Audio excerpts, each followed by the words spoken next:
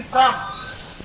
Tarifi mümkün olmayan acılarla yaşamaya çalışan bizlerin bir daha geri gelmeyecek hayatlarını çaldınız. Ve biz unuttuk o günden beri ağın sonu sükürmeyi. O ne ki tarifi mümkün olmayan acılarımızın hiçbir zaman iyileşmeyecek yürek yaralarımızın adıdır.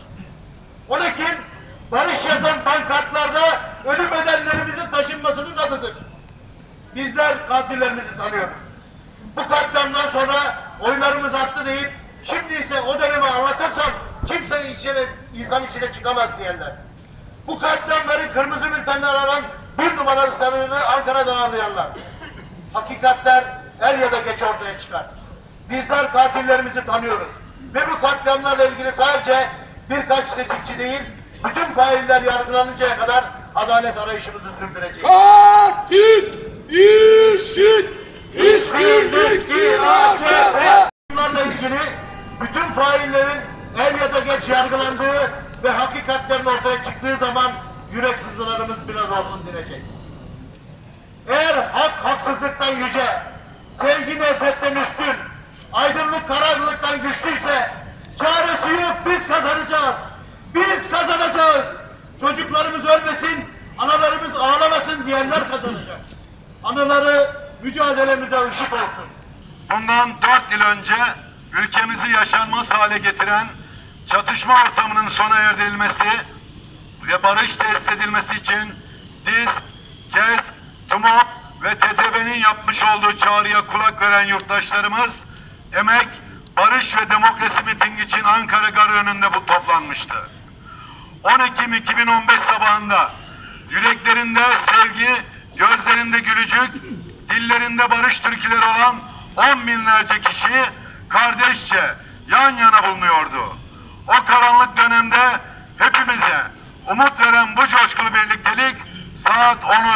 geçe IŞİD üyesi iki canlı bomba tarafından gerçekleştiren kanlı saldırı sonucunda bozuldu. 103 arkadaşımızın hayatını hayatını yitirdi. 500'e yakın arkadaşımız yaralandı ve sakat kaldı. Katil, işit, işbirlikçi AKP. Katil, işit, işbirlikçi AKP. Katil, işit, işbirlikçi AKP. Değerli basın emekçileri, sevgili arkadaşlar.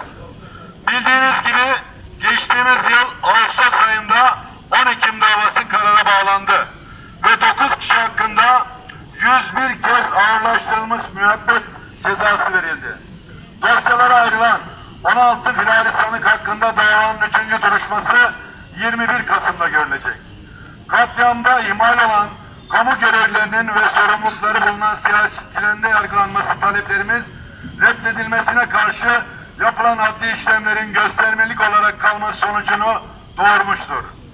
Saldırı sonrasında yaptığım, yaptığı patlama sonrasında oylarımız yükseliyor sözleriyle hafızalarımızda yer eden dönemin başbakanı geçtiğimiz aylarda 7 Haziran'ı 1 Kasım seçimler arası dönemlerinde defterler açılırsa birçok kişi bunun altında kalır demişti.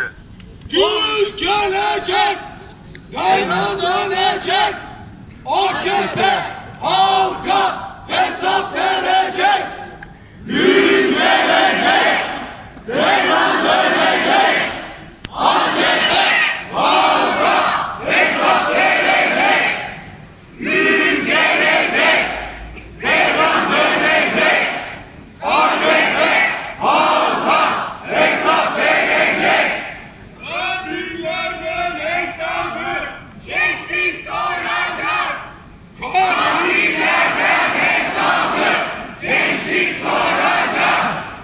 Katillerden hesabı gençlik soracak.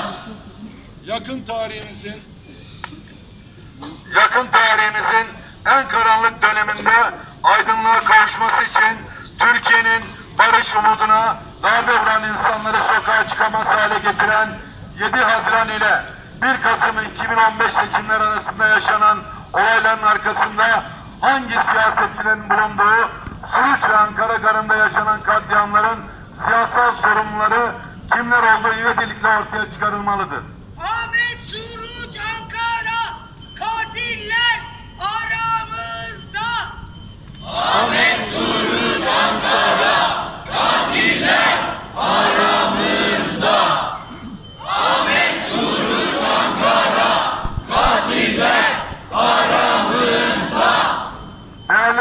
emekçileri, sevgili yoldaşlar. Yakın tarihimizdeki katliamlar siyasallar tarafından topluma empoze edilerek ayrımcılık ve nefret söylemlerinin ürünüdür. Savaş söylemleri nedeniyle yitirdiğimiz canlarımızı andığımız bugün, halkların barış içerisinde yaşadığı bu kadim coğrafyaya reva görülen savaşın ve yıkımın bir örneğiyle yine karşı karşıyayız. Halklarımıza ölüm, acı ve yoksulluktan başka bir şey getirmeyecek olan savaşa karşı durmak, barış politikalarını savunmak bu ülkede bir daha 10 Ekimlerin yaşanmasını engelleyecek yegane politika- politikadır.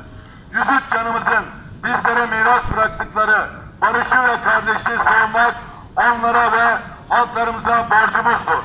Onlara sözümüz barış olacak. Onlara sözümüz barış olacak. Onlara sözümüz barış olacak. Eşitlik, özgürlük, demokrasi ve barış mücadelesi yitirdiğimiz arkadaşlarımızın en büyük emanetidir. Bizler bugüne kadar olduğu gibi bundan sonra da bu doğrultuda kararlı mücadelemizi sürdürmeye devam edeceğiz. Birleşe, birleşe kazanacağız. Birleşe, birleşe kazanacağız. Birleşe, birleşe kazanacağız. Katliamın dördüncü yılında bir kez daha sesleniyoruz. Kaybettiklerimizi unutmayacağız. Unutturmayacağız. Sorumluları unutmayacağız, affetmeyeceğiz. Yaşasın emek, barış ve demokrasi mücadelemiz. Yaşasın halkların kardeşliği. İzmir Emek ve Demokrasi